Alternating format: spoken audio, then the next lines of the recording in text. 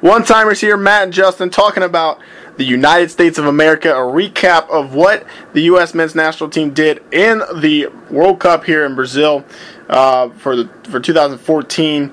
Um, an interesting uh, run, really, Matt, because uh, kind of the way I feel, is, you know, we made the round of 16. Uh, we played.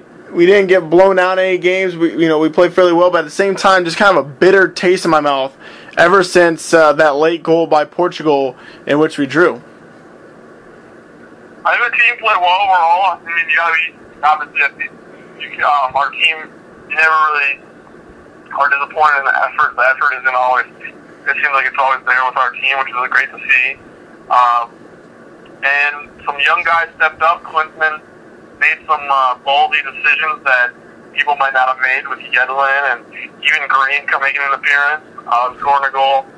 But um, I think the, the biggest questions would have to be the team didn't really it seemed like it was, at the time it seemed like the team was playing not to lose instead to win.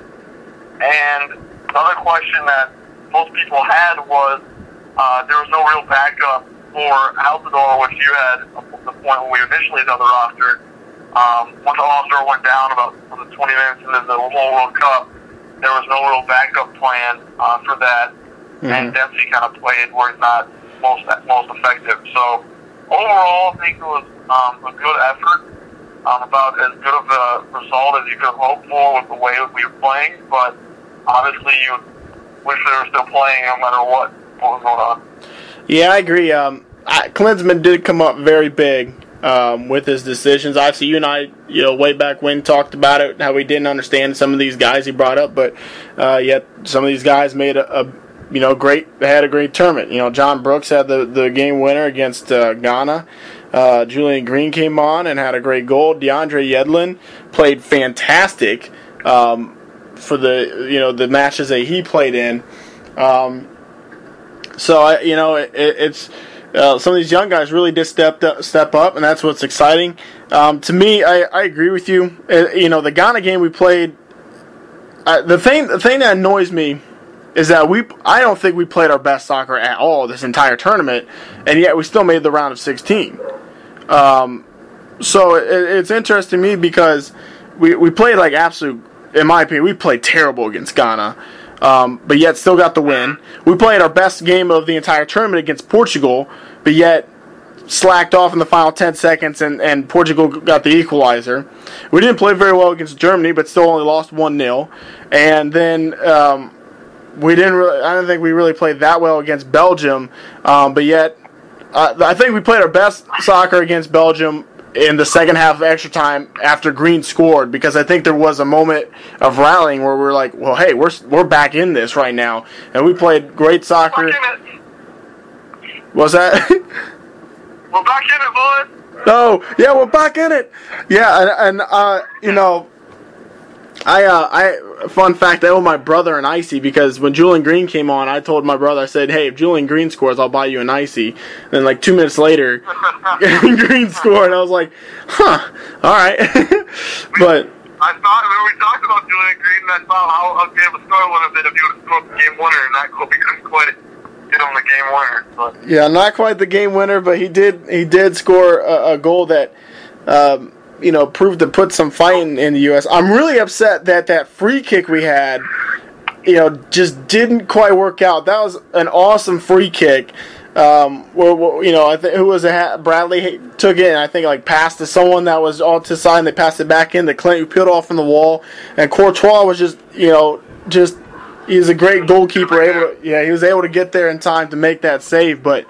Um, man, that would have been a fantastic equalizer, especially if we could have won that match in penalties or something like that. Um, but you know, overall, it, it was a great tournament. You know, uh, for for us, we we surprised a lot of people by making uh, making out of the group of death. Um, you know, drew Portugal. You, you, could argue that we should have won that due to the fact that it was such a late equalizer. Uh, beat Ghana finally. You know, third time's finally the charm to beat Ghana.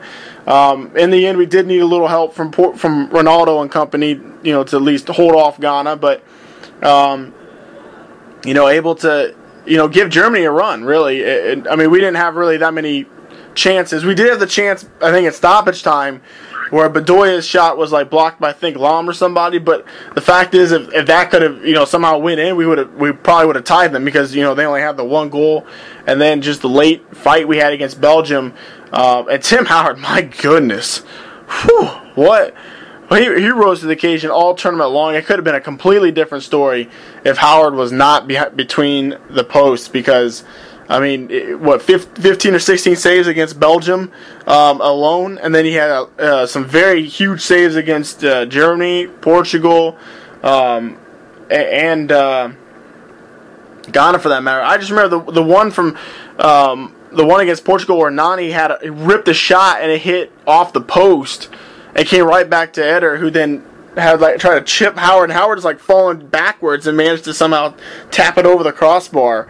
Um, how differently that game could have been had we, you know, had that had gone in. So, you know, Tim Howard to me, I, the man of the tournament for our team.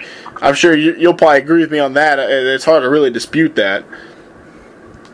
He was an absolute beast. I think the other players that were good. I think Dempsey, when he had the moments, he was good. Um, he's kind of at times he um, was kind of disappeared. Not that his fault, but because we didn't have the ball very much. Yeah. Uh, but I think other players that were really good was, um, I think, um, our defense at times had moments. I mean, Besler had good moments and he had some bad moments. Um, Cameron had some really good moments and some really bad moments. Mm-hmm. Uh, and, the same, I think Omar, Omar Gonzalez had, was pretty good when he had the chance. Yeah. But the player that I thought were that really impressed me, I said, I mean, Jermaine Jones was an animal. Uh, and I think Beckerman was an animal. I think it was interesting that the guy that everyone said had to be good for us to do well was Michael Bradley, and he on offense didn't really do much. Um, yeah. He did do a great lot of things that people didn't see. I think I think he led the World Cup was the top three of ground covered, so he definitely um, hustled back. There were a couple times where I was amazed. We he turned the ball over in the last third, and then he sprint 70 yards and fly tackle the ball out of bounds. But I have a question to pose, JT, and I was doing some research and I was thinking about this, this after I was uh, borderline heartbroken after the uh, the Belgian game. And I think we had this conversation. I uh, back in 2009 when the Vikings lost to the the uh, the, the football team from New Orleans uh, the NFC Championship game by a field goal. I I kind of uh, emotionally was as sad as I've ever been at a sporting event uh, it took it so hard. I, I couldn't talk to anybody in our dorm room in Offenhauer uh, West for about a day. Yeah. And I locked the door, and my parents even called me to talk about the game. I wouldn't even talk to them because I was so sad and I just couldn't talk. So since then, I really worked on trying to realize that it's only a sport. I'm not even playing. I don't know why I'm taking it so hard. So, and then I, I took I and then happened the Belgium game, and I was so sad felt for Wondo, and I, I don't know, I had, instead of being depressed, like I could have been, and had a few adult beverages, I decided to just do some research, take a nap, and exercise. And the thing is that when I looked at, when I, when I, thought about this, I said, I was, when you look at it from a, a basic standpoint, we have 300 million people. We produce some of the best athletes. Like if you watch the Olympics, the Mhm. best sprinters are normally a lot of times American. The best triathletes are American. We have best, some of the best athletes in you know basketball, football, hockey. We're constantly competing at the best sports. Normal, a lot of times dominating the best sports. And I'm, was thinking, I was like, why can't we compete with a team like Netherlands, who's about the size of my home state, Minnesota? I don't understand. Why can't we just designate one state as hockey state? We can just designate Minnesota as our soccer state, and it can be as good as Netherlands. That's fine with me. Uh, so I looked at the three differences between U.S. soccer and most quote-unquote soccer powers. And some of them we can change, and some of them we can't do anything about, and that's just the way it is. So three of the, the three main ones are, the main one is competing sport for youth. So when you're a little kid, you're choosing the sport to start playing with and play, or a lot of kids compared to other countries, I'm assuming in Argentina, in the here you might play hockey in the winter, in Minnesota especially, you might play basketball and baseball and Mhm. soccer. You can play all four, so you're just kind of a well-rounded athlete. Um, not much do about that other than growing the sport. um, and you're always going to have those competitions. The second is the interest in soccer, um, which is something you can grow. Obviously, we can get better, but it's kind of hard to do when there are these competing sports, uh, football, hockey, basketball, etc. The thing that I was at that we that's way different. I've talked to people about when I had foreign exchange students. Um, I had a German foreign exchange student as well that went to Germany. Who was obviously one of the best teams. The, the way you play play soccer at a young age. When you play soccer in Germany, you join a club team in high school and or a little younger, and you play for that team year round. And you go to school, to classes at school, but you play soccer for club FC Hamburg youth team. And I, I read some articles, I did some stuff, and I I wonder with the college soccer system is that possibly hurting our hurting our development for a youth team. I believe they only play 15 to 20 games a season. I'm sure TMDG doesn't have that great weather. I just wonder, is there a better system to promote and train when we have so many great athletes and players? Can we do better? Yeah, um, I mean, with with the college thing, I do. I'm pretty sure they do do some spring games. Um, it's not a, there's like not as much um, many games as there is like during the normal season, but I do believe that they do still play some spring games when you're in college. Um, I think it is tough because it, you know they are trying to still get a college education because not everyone wants to play soccer um, uh, professionally after college. Um, but yeah, I mean, and it, it really is some of the you know the United States is just it, it, there's multiple sto- sports that you can play and so you know a lot, there's a lot of variety in what you can play as a kid and up to when you get you know then you perfect to a certain sport and you play that and I think that is part of the problem for the U.S. Um, because other countries you know soccer is the main sport that everyone wants to play so everyone you know all, everyone that's talented or athletic everything they're going to be playing soccer coming all the way up um, another thing too I want I do want to point out is um, when you have when you're a smaller country such as Belgium or the Netherlands, um, for you know use those two as example, your country's not as big, so it's easier to find those that young talent. You know what I'm saying? The U.S. is so vast, it's so huge, it's sometimes hard to find some of these youngsters that are, are very talented. Um, so it, it's hard to get together a great talented team when when you can't even find all the talent in the first place. Um, whereas with smaller countries, it's easier to you know because you know just just for instance by word of mouth, you know you can start hearing oh hey there's this really good kid that's playing over uh, you know in, in this town here, and then soon enough your your soccer federation catches wind of it and heads there, and it's like oh this guy is very good. You start getting him on the national team. Um, it's, it's very hard to do that uh, just here in America, just due to how big it is.